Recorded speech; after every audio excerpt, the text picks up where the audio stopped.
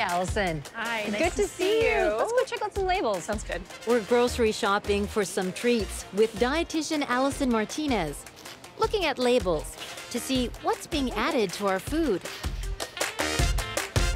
Let's check out the frozen aisle. From frozen foods to snacks Look at those nice bright Doritos. to candy Throw them in there. and more. Okay. We're checking out some colorful ingredients. Allura Red, So that's a common red synthetic food dye. uh, Sunset Yellow. Sunset yellow. Tartrazine is another um, artificial food dye that creates a yellow color in foods. So how often are Allura Red and Tartrazine and Sunset Yellow found in foods? I would say they're the artificial food dyes you're going to see most frequently. These synthetic dyes make our food look good, but are they good for us? That's what Thomas Galligan is asking. These food dyes are marketing tools for the food industry. Thomas is a scientist who studies food additives for the U.S. Food and Health Watchdog Center for Science in the Public Interest. They are used to make food look more visually appealing so that you and I, as consumers, want to buy them. But they really offer no benefit to the consumer. But we like food to look good. So what is the concern about having these artificial dyes in our food? These synthetic food dyes can cause or exacerbate neurobehavioral problems in some kids. Things like inattention, hyperactivity, sleeplessness, restlessness, irritability, these sorts of things. That's why some other countries have changed how these products are sold. Since 2010, in the EU, there's been a requirement that foods that contain certain synthetic food dyes, like the three that we're discussing, actually have to have a warning label to warn consumers about the effects that they have on children's behavior. Thomas would like to see warning labels here too. Not everybody is going to be impacted by synthetic food dyes. Canadian consumers should be offered the opportunity to protect their kids just like European consumers. We want to see what those warning labels look like. Time to order some popular products from overseas. Stick that candy in the cart. We've got M&Ms, Skittles, Doritos, Nerds, Nerds gummy clusters, and Kool-Aid. The Canadian versions of the same products have one or more of the synthetic dyes, Allura Red, Tartrazine, or Sunset Yellow FCF, also known as Red Dye Number 40, Yellow 5, and Yellow 6. Okay, that should do it. We'll see what's in those products when they get here. While we wait for our international snack shipment to be delivered, we're heading to Niagara College Culinary School to find out what's in these dyes. Many of the artificial colors are actually petroleum byproducts. Professor and food scientist Amy Proulx shows us two of them. Can you show me the Allura Red? What does it look like? So oftentimes people are mystified by what different food additives look like. It is not a big mystery. It looks like a small, dark red powder. Same goes for Sunset Yellow. As you can guess, it gives a very bold yellow color. Amy says these synthetic dyes are also more stable during manufacturing. Boiling the sugar for candy is done at extremely high temperatures. And as such, we need to have heat-stable colors that are not going to scorch out and burn in that process. Okay, it's here. Our delicious delivery from Europe has arrived. Lots of good stuff. Sure enough, there's a warning label about those synthetic dyes on some of the products. Kool-Aid, okay. So this one does have the Allura Red, but also a warning label. The warning label is in multiple languages, saying Allura Red may affect activity and attention in children. The Nerds gummy clusters have the dyes and the warning too. But for the rest of the snacks, no warning, because Allura Red, Tartrazine, and Sunset Yellow are nowhere to be found. None of the synthetic additives in the Skittles. You're gonna wanna bring your hand right up. Your pointer finger and your thumb are gonna hold the base. We're taking our treats to a cooking class in Toronto, Let's cut that in half first, and it's a lot easier to cut. testing what these kids I brought a bunch of snacks. and their parents think about the warnings we see. In the EU, they require warning labels, not in Canada. What do you think about that? I think the warning labels should be there. And then it's the choice of, of the shopper to pick it up or not. The more information we have, the better decisions we can make. So why not provide that information? And what do they think about the other snacks from Europe? that don't have the dyes in them at all. To me, it's obvious that decision can be made to exclude them, which shows that it's not necessary. It's shocking because obviously these companies, parent companies, are global. Why are they producing on purpose two different sets of products? Okay, so we're gonna do a little experiment here with you. We're gonna look at these now.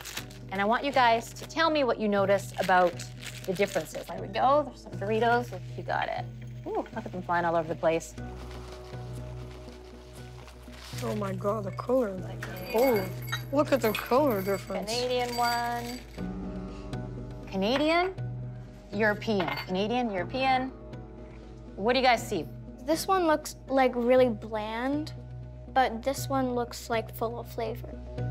I want to taste it. Okay, take one of each and tell me what you notice about them.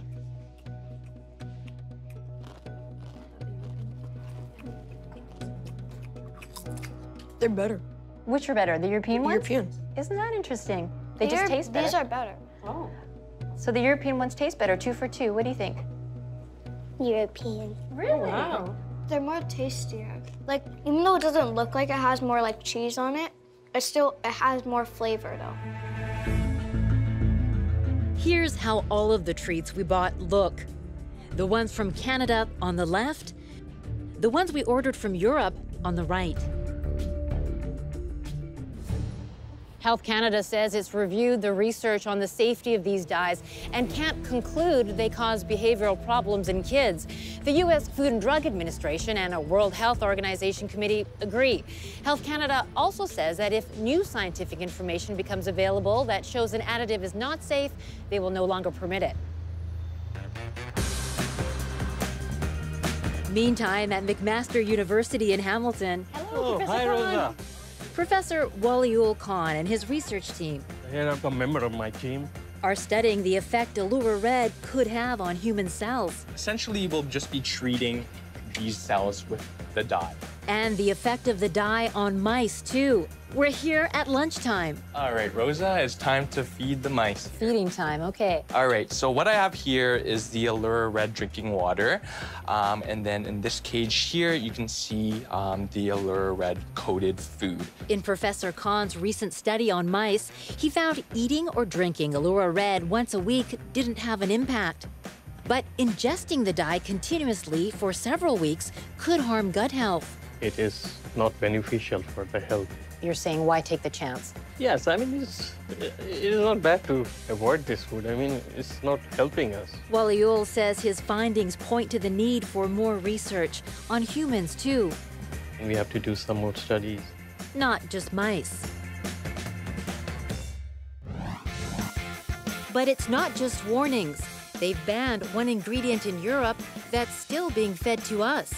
I think that Canadian consumers certainly should be protected.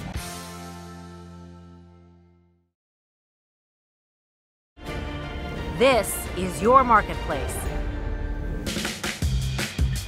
We're taking a closer look at what's in our food, revealing that warning labels are required in Europe for certain synthetic food dyes, but not here. Ask me the flavoring. We want to know can we make some colorful candies that don't have these dyes? At Niagara College, Professor Amy Proulx and her students are going to create some tasty treats for us with no synthetic dyes. Amy, this is my favorite time of day, snack time. What's on the menu? They're going to make some gummies, some lollipops, and some marshmallows. But will the treats look good? So this is a natural coloring agent, uh, which we added in this one. This is made of uh, turmeric and sunflower seeds. While Amy's students whip up their candy creations, dietitian Allison Martinez dives into another food additive, one recently banned from food in the EU titanium dioxide. That's another component that's added to foods, especially to make them whiter or brighter. Titanium dioxide is allowed in food here in Canada. Sure enough, we find it in many products. But it's not in the European versions of the same treats. Why is this on your radar as a dietitian? So it's in my radar just because of some of issues that have been raised in Europe that have to do with potential health risks of its ingestion. To find out why it was banned in the EU, we're heading to Parma, Italy. Well, virtually anyway. To the European Food Safety Authority, where we meet with Camilla Smeraldi. Hi, Camilla. Buon pomeriggio. Rosa from Marketplace. How are you? I'm fine. Thank you, Rosa. Good afternoon to you. Camilla leads EFSA's food additive and flavorings team. They recently reevaluated titanium dioxide.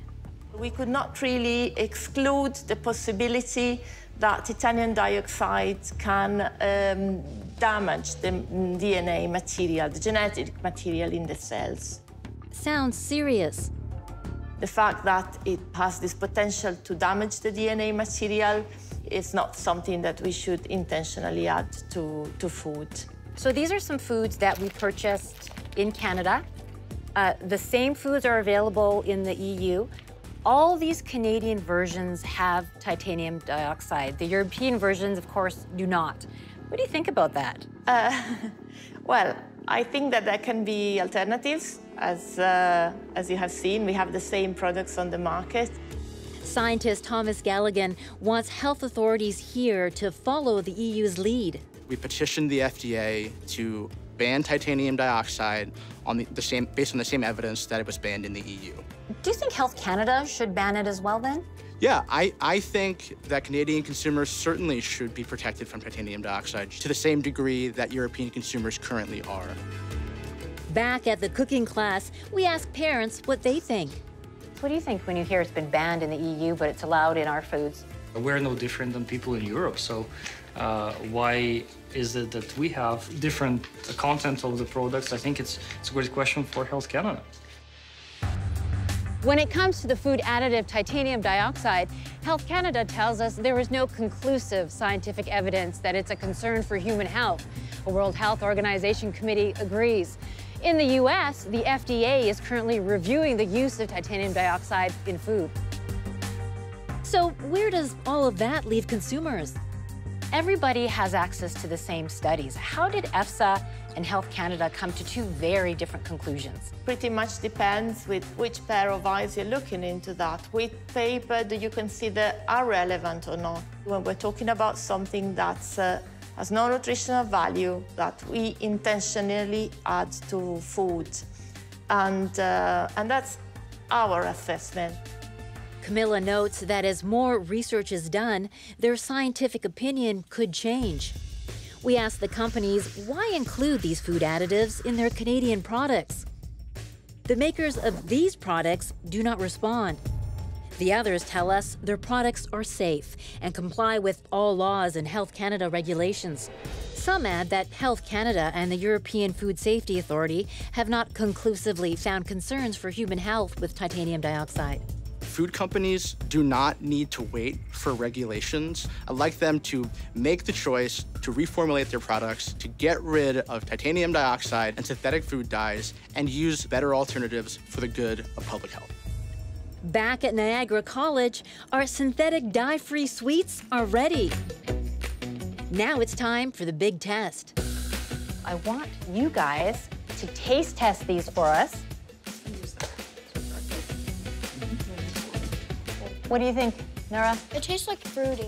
Still yeah, it's yummy. actually really good. It's Still good. Mm-hmm. I like the lollipop the most. Would you be disappointed though if you opened the package and it wasn't like these really bright colors? No. These kids say no synthetic dyes are needed, since it all comes down to just one thing. Taste. Taste. Taste. You're gonna have to save room for lunch.